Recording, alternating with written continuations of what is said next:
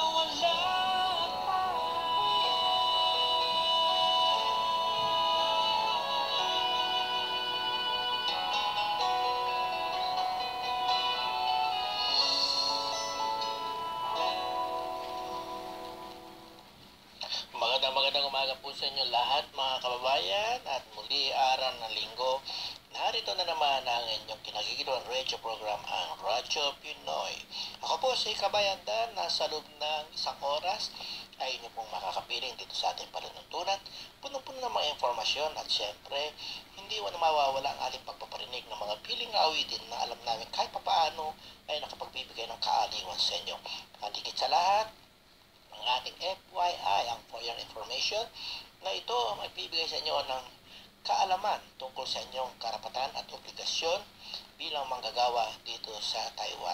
Kumusta po lahat kayo, kabayan? Second week of April ngayon, ano ho? Alam niyo ba? Ano po ang araw ngayon? Nagsimula na po kahapon ang ating overseas absentee voting, ang eleksyon para sa ating bansa dito sa Taiwan. Ano ho?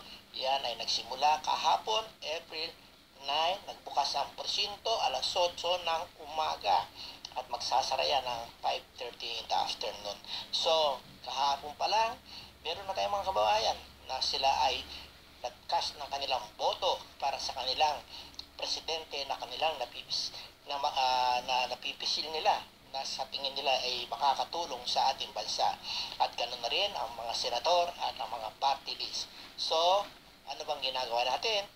Linggo ngayon, kabayan, kung kayo ay nakapagparegister dito sa Taiwan, pwede kayo na bumoto. Punta lang ho kayo sa MECO, tignan nyo kung ando kayo sa master list ng mga voters, at pag nakita nyo ang pangalan nyo, andun ho, ilista nyo yung control number ninyo. At yun ang ipakita nyo sa uh, sa mga uh, Special Board of uh, Election Inspector. Uh, tinatawag natin SBEI no ho na andon ay uh, may mga nakatalaga sa bawat presinto ha diyan sa MECO hindi lang dito sa Taipei nagsimula po yan maging sa MECO, Taichung at Kaohsiung ano ho so lahat po tayo, mas maganda ay makaboto ng mas maaga kaysa ho tayo mag-ahabol na last minute. Ano ho?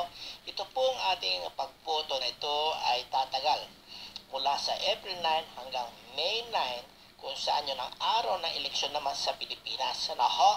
So, bigyan natin ng pagkakataon, kabayan. Pumunta tayo sa tanggapan ng MECO, sa Kaohsiung, Taichung at Taipei at tayo ay bumoto at magkaisa tayo at tumulong tayo sa paghuhubog ng ating bansa.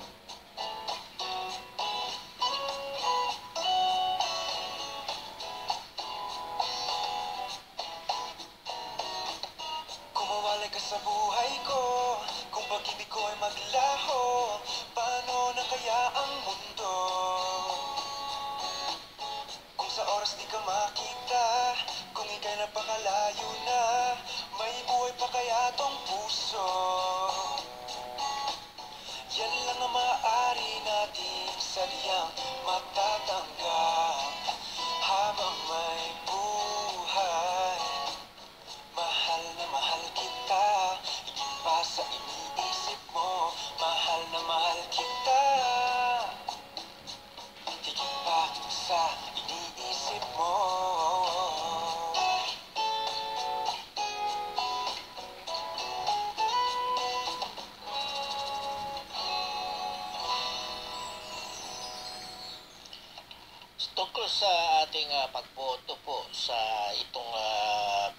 presidential ah, election, ano ho? Itong election sa ating bansa na ngayon naman ay nagsimula na rito sa Taiwan since yesterday, huwag natin kalimutan na magdala tayo ng mga valid ID for identification. ARC, unit ID, or yung passport ninyo, ha? Copy ng passport ninyo. Napakahalaga po na kayo ay magdala ng valid ID kasi kung wala kayong dalang valid ID, baka hindi po kayo payagan na makaboto kasi for identification po yun. Ano? Kaya huwag nating kalimutan, magdala tayo ng valid ID. So, lahat nating kababayan, tinatawagan namin ng pansin, simula po kahapon ay nagsimula na ang overseas absentee voting at yan ay tatagal hanggang May 9. So lahat na nakikinig mula dyan sa Kaohsiung hanggang dito sa Taipei area. Kamusta po kayo? Ah, naririnig niyo po ba panawagan ni Kabayan Dan? Napakahalaga po ito na kayo ay makipagkaisan. Ho. Ang programang ito na lagi nagpapaabot sa inyo ng mga paalala, ng mga tungkol sa inyong karapatan bilang manggagawa, yung mga issue natin, yung mga napapanahon ng mga ah, bagay na dapat na ipaabot sa inyo, ay handog po sa inyo ng Manila Canal Cultural Office at ng Council of Labor Affairs in Taiwan. Next week po ay third Sunday of the month. So yan naman ay ang muling pagbibigay silbi ng MECO sa ating mga kababayan. Third Sunday po yan. So bukas po ang MECO upang sa inyo po ay maglingkod. Ano ho? So yung mga kababayan natin na hindi makalabas sa ordinary day, pwede kayong Sunday pumunta rito. Yung first Sunday at third Sunday. Na kayo po ay pwedeng magpagawa ng dokumento or mag-renew ng inyong pasaporte. Ano? So, huwag natin pong ah, kalimutan yan at ah, lagi natin ilagay sa ating mga kalendaryo na ang MECO ay bukas sa mga binangkit ko pong linggo. First Sunday at saka third Sunday of the month. Okay, meron po tayong isang issue dito na ito ay tinanong sa akin at hinili kong pwede ipaliwanag ano yun certificate na hinihingi po sa airport pag ang isang tao ay finish contract na at siya uuwi na. Ito po ay natalakay ko na ilang beses na dito sa ating programa at ito ay naibigay ko na rin yung mga requirements pero gusto ko lang uling balikan. Ano? Ito po ang certificate na sinasabi. Ito ang tinatawag natin certification of termination of employment and employer relationship ah, or yung kanilang kontrata, termination ng contract. Kailan na-terminate ang contract? Pag ang both party nagkasundo. So magkakaroon tinatawag natin na arbitration. Magkikita, maghaharap ang employer sa employee na tapos na po yung kanilang kontrata, ayaw na nila magpatuloy. Pwede ang mag-file ang employer at pwede mag-file ang worker. In the absence ng employer, pwede rin magpatuloy yon basta sasabihan na CLA ang employer at patadala tayo siya ng notice na itong worker ay nagpapile siya ng termination of contract. Alam nyo ho, napakahalaga ito. Ito ay ginagawa nila ano ho, to protect the worker.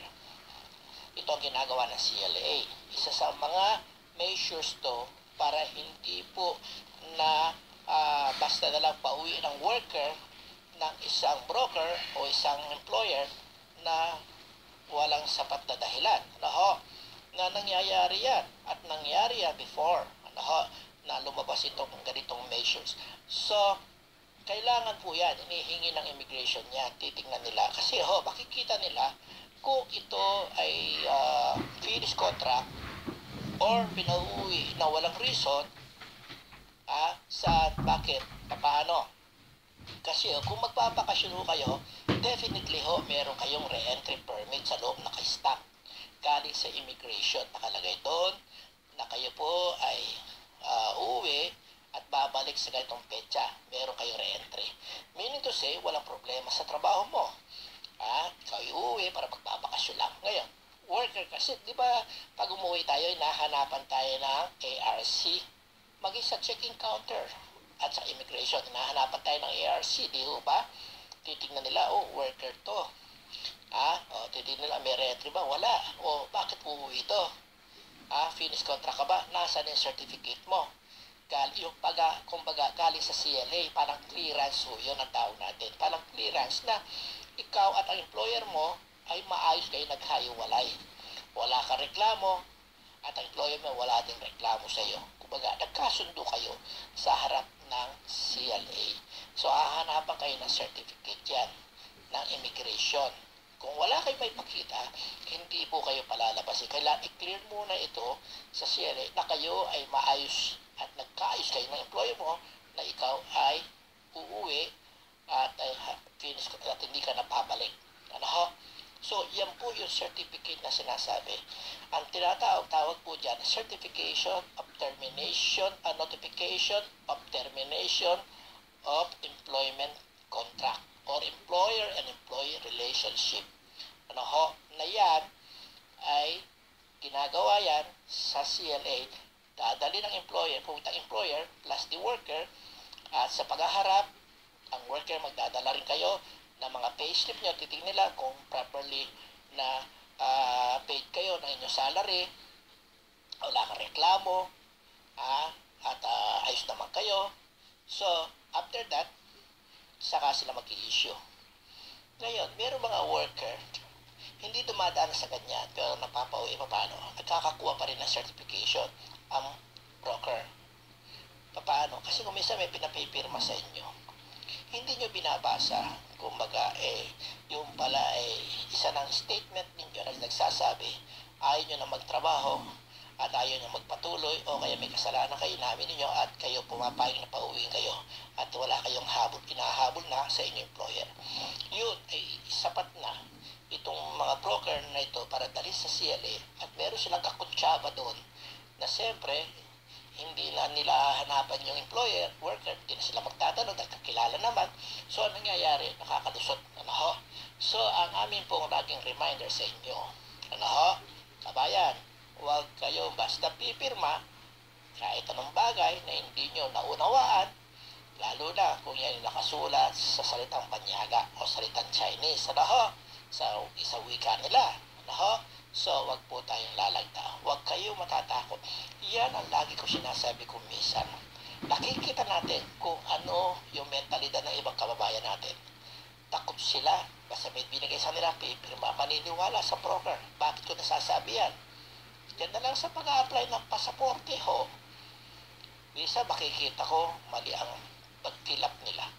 Pag mali, sasabi nila, eh kasi po sabi ng broker ko, ganito yung sudat ko eh.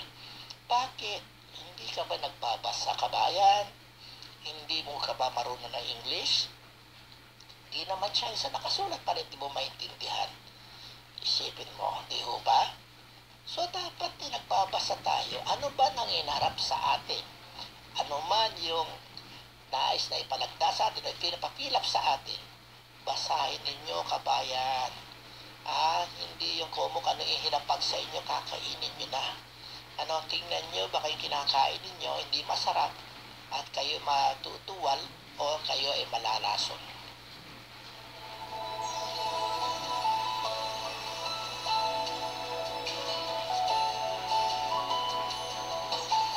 Kaya kumisa mahirap po na kumisa yung nga sinasabihan natin ating mga kababayan pero ang iba nagagalit pa. Ang ating pagmamalasakit lang ho. Ano ho, magbasa tayo, matuto tayo, meron tayo sariling karunungan, alam natin ang tama at mali. Di ba, kabayan?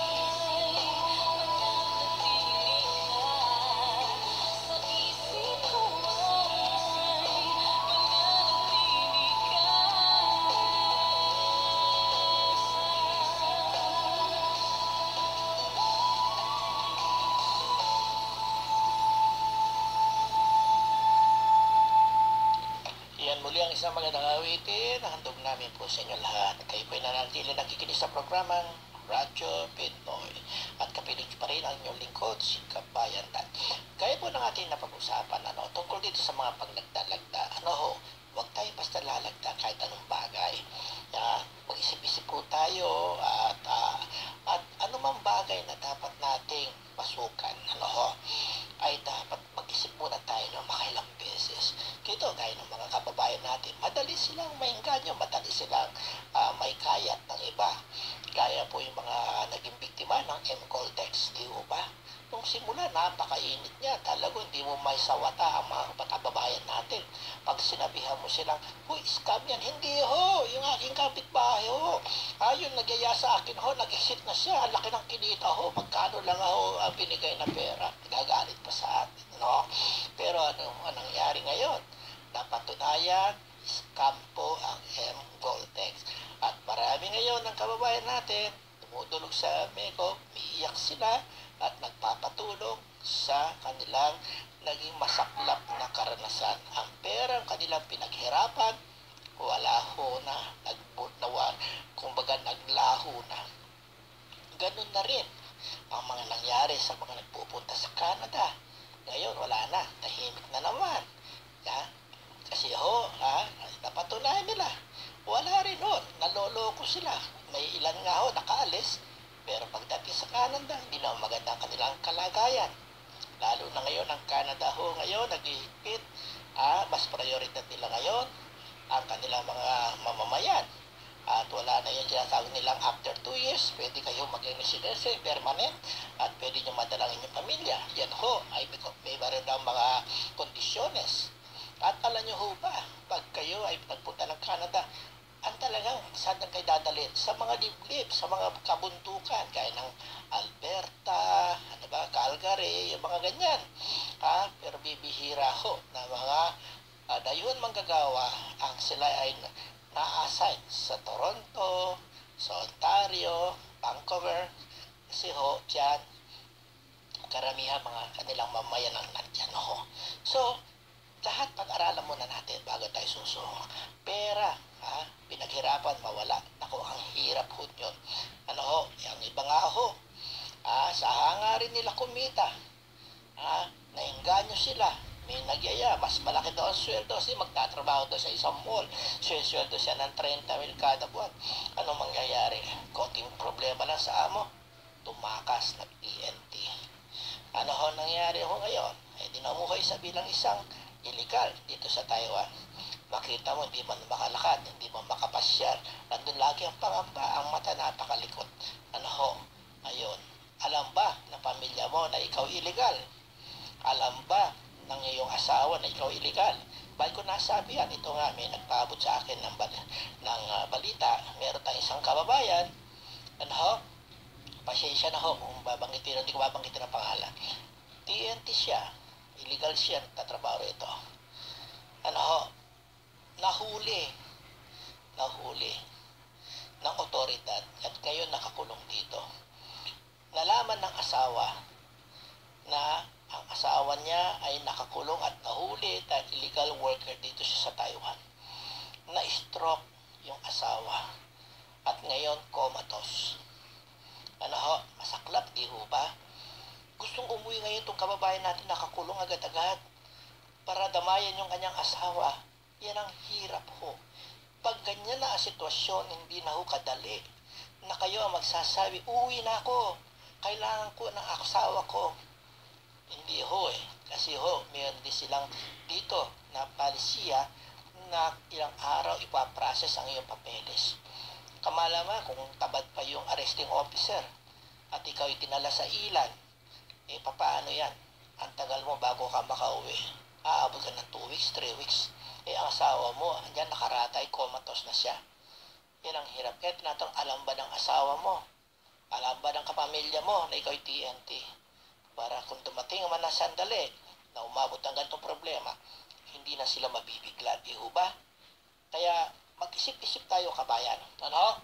Hindi tayo dapat na uh, tayo ay uh, mabigla-bigla sa ating mga pasya. Kung may problema kayo, tumawag kayo sa 1955 at kumonsulta sa CLA or tumawag kayo sa MECO sa 2507-9193 ah 191393 tumawag kayo sa MECO Labor Home at kayo po ay magtanong para kayo ay mapayuhan ng tama at magabayan kayo at hindi tayo magkamali. Thank you.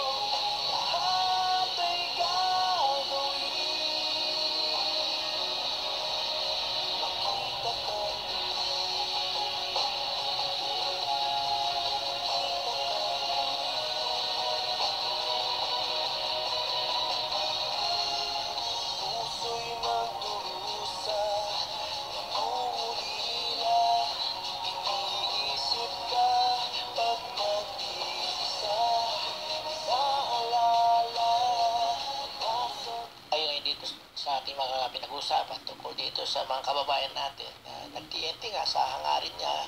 Sila ay kumita na mas malaki.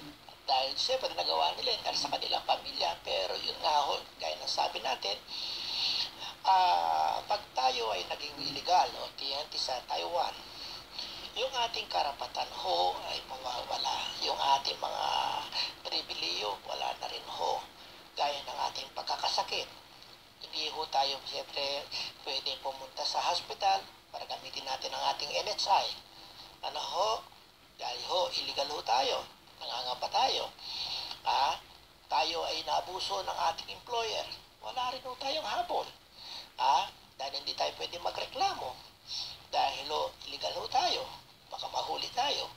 Kaya marami sa ganyang mga kababayan natin, nababalitaan natin, hanggang nagsasawalang kibo na lang sila pag sila ay narkapyado o kaya inabuso ng kanilang pinangangamuhan kasi ho sa kanilang kalagayan.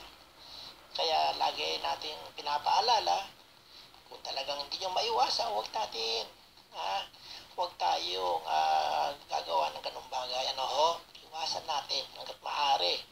Ano ho, yan ang ating mga panawagan. Sa bagay sa ngayon ho, ang Pilipinas ay ating napakakonti mga Pilipino ang PNP. Sa ngayon, ang pinakatalamak ho ang Vietnam at ang Indonesia. Ano ho, sila ho ang napakarami ngayon na mga overseas worker, mga OFW na ah, nasa illegal ang kalagayan. At ah, dahil sa patuloy ang MECO sa pagpapaala sa ating kabayan, kaya ngayon ay maliit na lang ang bilang ng mga Pilipino na nananatiling illegal. Ano ho? Yan ay nangyayari, alam namin, dahil sa pagmamahal niyo sa inyong pamilya. Sa hangarin niyo na manatili rito, makapagtrabaho ng matagal, ah, at maaaring kayo ay nagkapyado o minaltrato ng employer nyo, hindi na kayo nagdalawang isip na kayo umalis. Hindi namin kayo masisisi kabayan. Pero yun nga ho, ah, kayo po ay malalagay sa alanganin lahat, ang inyong karapatan, ang inyong mga pribiliyo, wala na po yun. Kaya ingat lang, ano ho? huwag sana mangyari ka pa rin nung sinabi kanina na nalaman ng asawa na ang asawa niya ay nahuli, nakulong, ayun, na-stroke at naging comatose pa hanggang ngayon. Ano ho? So, wag naman nawa. Ano ho? At sana makapagtrabaho tayo dito ng payapa, alang-ala sa ating pamilya. Speaking of trabaho, ah, gusto natin, di ho ba, na pag-uwi natin, meron tayong mga ipon. Kaya kailangan ho, eh, matuto tayong mag-budget. Ano ho? Alam namin, alam niyo yan. Pero merong iba, nila matiis ang kanilang mga anak, ang kanilang mga mahal sa buhay pag umirit. Ano ho? Ah, kaya makikita mo, kung bago ang mga gadget ng kanilang mga anak, Bagamat eh, yung magulang hirap na hirap dito, pag umiling ang kanilang mga anak, ako eh talagang uh, hindi nila matiis na pagbibigyan nila. No? Eh, hindi naman natin masisi ang mga magulang. Siyempre, kaya sabi naman nila, kaya tayo naghahanap buhay, eh para naman sa kanila yon Kaya nga, tiis-tiis lang. Kaya ibibigay nila ang kanilang abot na kanilang makakaya. Kanya lang nagmamahal, sabi daw sila. Oh, sa isyan sa buhay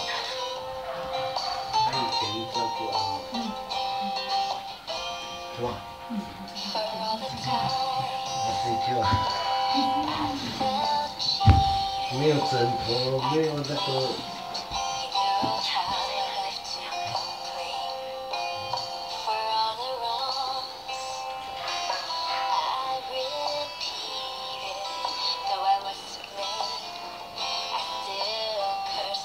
哦，好大雨哦，下好大，下雨好大，你这边都不知道哦。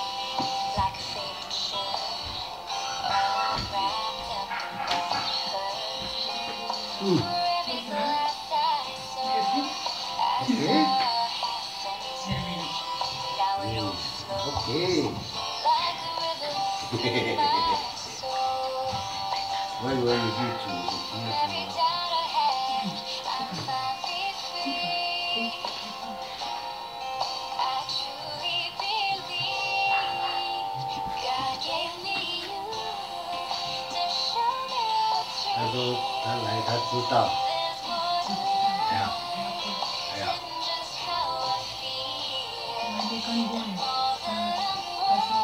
说你还没来，嗯，我知道啊，我刚刚，他说身体他他很久没有来了，今年。他来呀、我说他是他是谁？我说我不知道。他说阿哥，那个旁旁那个女女女生，她老公我我忘记了，她她旁旁阿哥，哦，你妈妈嘞？我说你妈妈嘞？是啊，谁？谁听到？你要谁听到？你要过？是谁？啊？谁听到？嗯。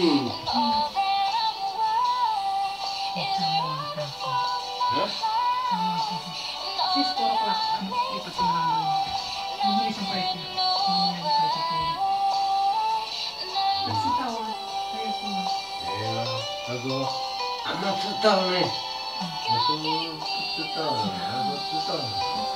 然后刚开始不知道，一开始一下不知道，后来知道。他说跟那个，还有来知道那个 CD，CD 西呃西底然西后苏醒。西熟悉，还是知道。罗琳大家都知道，罗丽他不知道啊。还没看过，他说很多年了。At kaya punta tayo rito sa ating FYI for your information. Marami pa rin ang patuloy natin tatanong tungkol dito sa kapag daw mag-transfer ng trabaho kasi daw yung kanyang employer ayaw daw niya doon masyado mahigpit hmm. at ang trabaho niya ay hirap. Oo. So, tatalakayin natin hindi yan. Ano? Employment transfer. At ito, hindi pinahintulutan kung wala ang approval. Ang una po ay kung sa panahon ng inyong pagtatrabaho 啊，ah, bilang foreign workers sa Taiwan, dumating ang sitwasyon na yung labor contract po ninyo ay terminated. Gaya po, for example, ah, pag ang employer ninyo 嗯，or yung ah, pasyente ng caretakers, ano ho, namatay o nag-migrate po sa ibang bansa dahil napunta na sa Amerika. At, o kaya naman, ang worker hindi siya makapagtrabaho, makapagpatuloy ng kanyang employment kasi yung kanyang employer ay yung kanyang, ah, sabi natin, vessel niya, yung boat niya ay nasis o or ah, nakapiska ito. or nasira o lumubog. Ito po ay sa mga fisherman, ano ho, na kababayan natin. Or under repair, yun. Pwede rin ah, kontrata ah, terminated. Or ang employer po nagsara ng pabrika goes out of business. Or uh, siya na magbayad ng mga wages ayon po sa nakatakda sa kanyang kontrata. Or ang employee or employer ay hindi nagkasundo at yung nga gaya na may maltrato, may harassment, ganan posible na ay tatransfer yung worker no? Pero lahat yan dapat uh, i-registro nila sa CLA mag-file po ng employment transfer ano ho? kailangan po yan kabayan So tignan nyo saan po kayo nabibilang doon kung kayo magpapatransfer. Ano ho? At dapat ho pumapayag ang employer din. Kasi ho lalagda ang employer na sang-ayon siya na ikaw ay matransfer. Ano ho? May lalagda siya. Ang foreign workers po na hindi makapagpatuloy na magtrabaho dahil sa mga nabanggit na mga pangyayari na hindi naman niya kasalanan. Ano? Hindi naman dahil sa kanya ang foreign workers po pwede siya mag-apply ng ah, for approval ah, ng ah, na permit mula sa CLA at si pwede siya mag-register na magpalit siya ng employer. Ano? Pero bago po siya ma-transfer sa bagong employer, sa tulong po ng Employment Service Center, ah, at kung sa panahon na habang siya tinatransfer, ang worker po hindi pwede siya mag-assume o magtrabaho ng ibang klase ng employment ah, na hindi ka pareho ng original, yung dating kanyang ka- status. Kunwari, ikaw po isang pabrika, pabrika ka. Kung sa caretaker, caretaker. Except po, may pasubali naman. Kunwari, ikaw ay ah, caretaker. Ngayon, tatransfer ka sa factory, ano ho? Ano yung mga exception?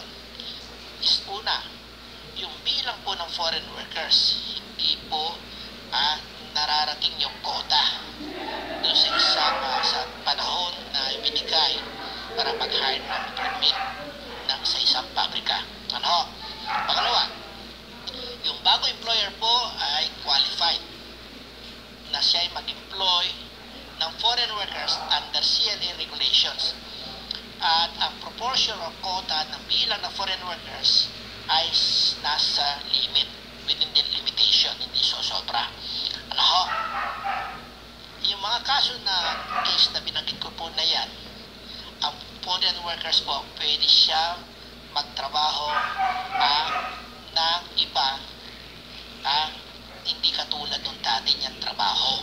Pwede siya magbago. Ano ho? So from caregiver to factory worker ano yon ano ho? Yung nabanggit na dalang kondisyon.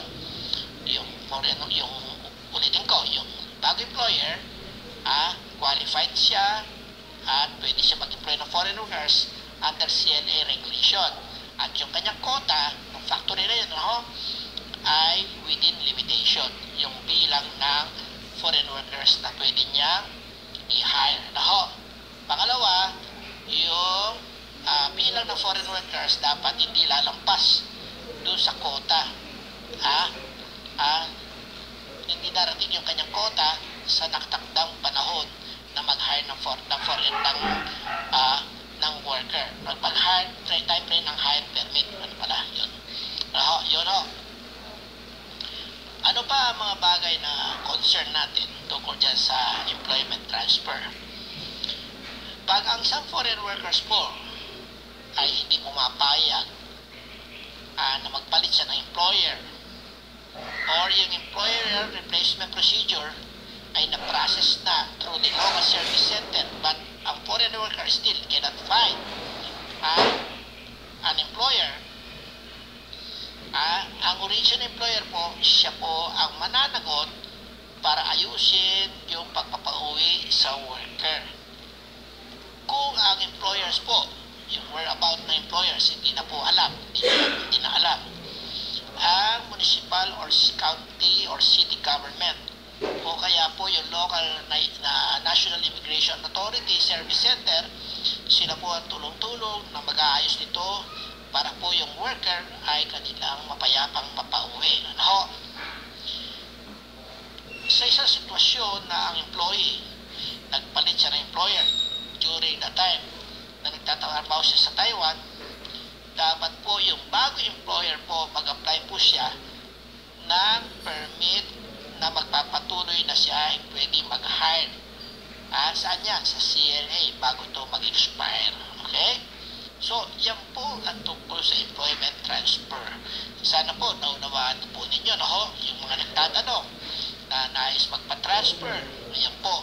Ayan po ang mga sitwasyon at mga kondisyones kung paano kayo pwedeng ma-transfer. Okay. Meron tayong mga kababayan naman ngayon na ang kanilang trabaho ay sabi natin ah, sa kausyon pero nasa Taipei siya ngayon. Yung tinatawag nila change of work location. Ano ho? Ano mga sitwasyon na pwede yan? Ano? Isipin ho, nasa ARC mo, Taipei ka. Pero nasa kausyon ka. Pero nga nag-apply ng passport ho eh. Taipei ang kanyang ah, work address. Pero nasa Kingman siya. Kasi pala yung alaga niya is nasa Kingman. Andun sila. Ayun. Pwede ho ba yan? Tingnan natin. Okay. Tungkol sa work location, yung pagbabago ng work location. Yung work location ng foreign workers po, dapat po, una, yung sinasabi natin, pareho ang address na nakalagay sa employment permit. Ano ho?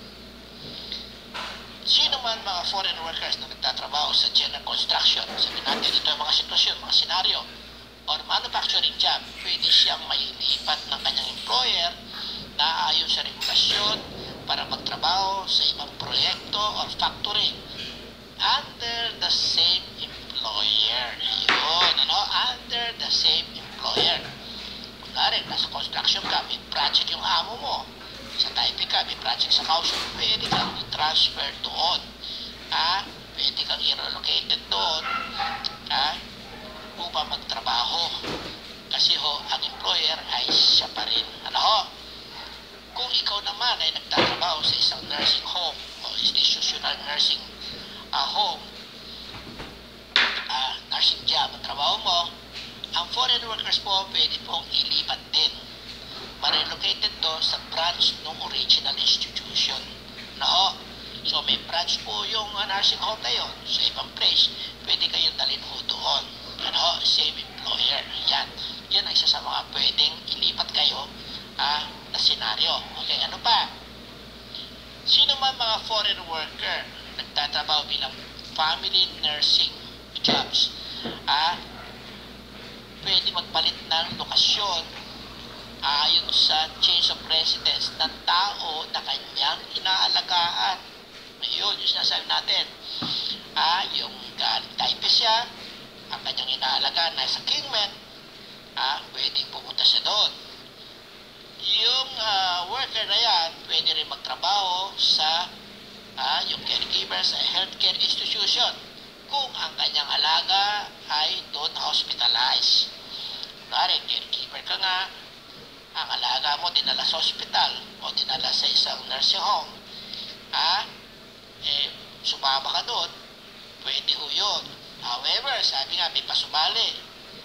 Sino man mga foreign workers na relocated sa isang nursing home, ah, or chamber for the chronic respiratory patients affiliated with the above-mentioned healthcare institution, ang employer dapat daw first mag-submit siya ng relevant documents sa CLA ah, para humiling ng approval bago may transfer ang foreign workers kasama ng tao na kanyang inaalagaan, kasama ng pasyente na kanyang inaalagaan para magawa niya ang kanyang tungkulin bilang isang family nurse. Ano ho, doon sa lokasyon na paglilipatan. Yung period po ng relocation under each application dapat hindi lalampas ng 2 months. Ano ho? Pag na-expire po yung 2 months na yan, ang employer pwede din siya mag-apply ng extension. Ah, pero may pasubali na ang total period ng relocation sa loob ng isang taon dapat po hindi lalampas ng anim na buwan. At yung tao na nagpe-perform naman, OFW, performing housemaid job, ay pwede rin pong ma-relocated to sa bagong residence na to take care of person na kanyang inaalagaan. Ano? Yan po ang tungkol dyan sa ah, relocation or change of work location ah, ng isang foreign worker. Ano ho? Maliwanag po, ano kabayan? Ano? So, ano pa ang dapat natin tandaan at bahagi ng atin for your information or FYI? Yung mga trabaho na hindi pinapahintulutan sa isang manggagawa. Ah, anong mga yon? Kasi ho, ang foreign workers dapat magtrabaho lang siya kung ano ang nakalagay sa kanyang employment permit.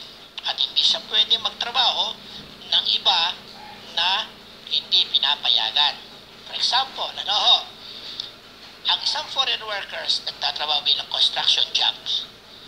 Yung klase ng work ng worker na yan ay uh, shall be those designated under public announcement na CLA.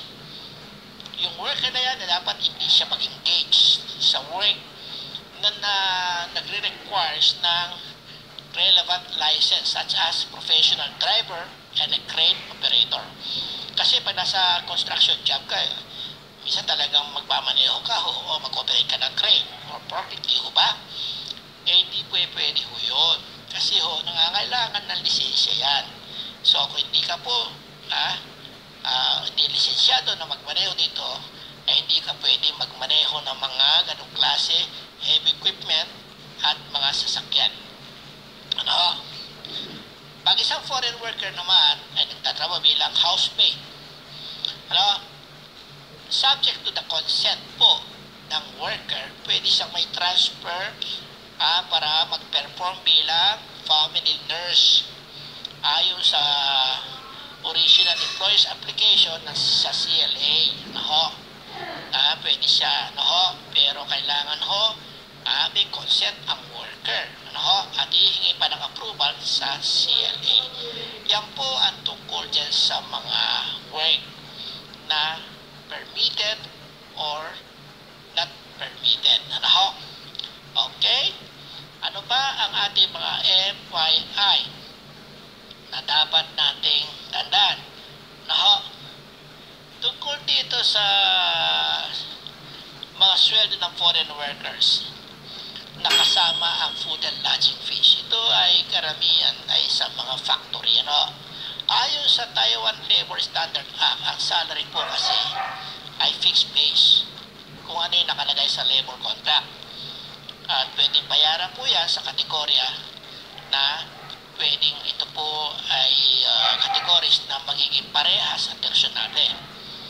Kaya po, upon mutual consent po ng employers at ng worker, ang food and lodging fees po, ah, pwede po isama na sa sweldo at tapos iawas. Kumbaga, eh, andun na under the item na salary at indicated sa contract prior to the approval arrival ng foreign workers. Kumbaga, eh, ah sabi natin, ang iba free ang board and lodging. So kung free, sasama nila, tapos iaawas nila to free, di ho ba? Nagdagdag sila, nag-awas, libre. Ang iba naman, kasama na sa sweldo nila at aawasan nila. Ano, pero ang pag-awas ho, hindi dapat lalampas na 5,000 na yan pinapahintulutan ng CLA. Ha? Pero yung actual na amount ay negotiable po yan.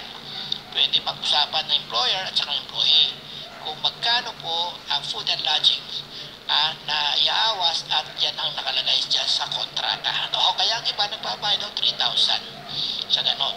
Pero ah, parang binabayaran pero totoo nakasama na sa sweldo yan. Ang iba ganon. Kaya ah, ganon po ang sitwasyon. Ngayon, yung mga nasa bahay naman, yung mga nagtatrabaho sa bahay, kaya ng mga housemaid, yung mga in-home caretakers, kasi hindi po kayo covered ng Labor Standard Act, ang, ah, ang food and lodge po ay kasama na sa sweldo ninyo para maprotektahan ang inyong karapatan ah, o maprotektahan ang karapatan ng magkabilang parties.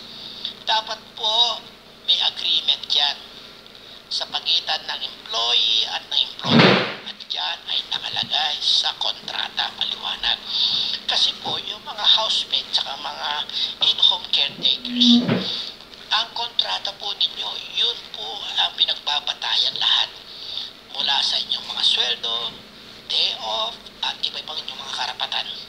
Kasi po hindi kayo sakop ng labor standard law. Ngayon, may nagtanong tungkol dyan. Ako po ba ay finish contract? Sino maghahatid sa akin sa airport?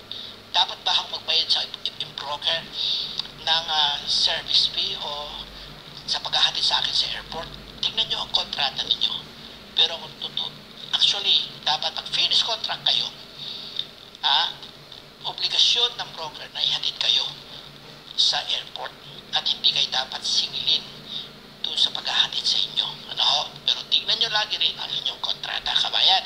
Ang contract po ang babasihan po sa mga housemaid at mga in-home caretakers. Unlike yung mga nagtatrabaho sa mga mga manufacturing, construction, ano ho, company, ay sila'y sakop ng Labor Standard Act. Ano?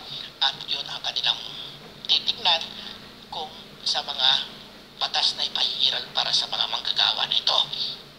Okay, ano pa? Pag ang employer at employee nagkasundo sa halaga ng food and lodging fees sa nakalagay sa kontrata, ang employer po hindi niya pwede po na baguhin na lang ito siya magdidesisyon mag-isa na walang pahintulot ang worker o consent. Sabi natin, 3,000, bigla niyang itataas. Siya magdidesisyon. Pwedeng gawin ng employer yun. Ha? Ayon sa regulation and the permission and administration of the employment of foreign workers, kahit even if the employer and the foreign workers nagkasundo sila, ah, nagkaroon silang mutual agreement on making changes sa pagbabago dyan sa kasunduan sa kontrata nila sa food and lodging, yung nilagda na kontrata, siya pa hindi po, hindi pwedeng palitan po yung nilalaman nun. Ano ho? Ah, na nakalagay dyan sa foreign workers affidavit regarding expenses incurred for entry into Republic of China to work and the wages. Ang haba ng title, ano? Na ito ay pinerified pa ng ating POEA o yung labor source country, yung competent authority. Ah, pagkatapos ng verification, anumang pagbabago sa content nito ah, ng affidavit ay hindi na hindi hindi favorable sa worker, ito po ay hindi pinapayagan. Ano ho? Kaya hindi pwede mo basta na lang palitan yan. Lalo na kung ito ay hindi pabor sa mga worker. Ano ho? Okay, sana po na tatan nyo itong ating mga napag-usapan at yan ang ating mga FYI. Wala na tayong oras kabayan. So, magpapaalam na ang inyong lingkod. Hanggang sa susunod na linggo dito sa programang Radyo Pinoy, ako si Kabayan na, na nagsasabi, ingat-ingat lang po tayo sa ating gayom sa araw na ito. Mag-enjoy po tayo. I love you all. Bye-bye. Thank you po, Kuya Dan.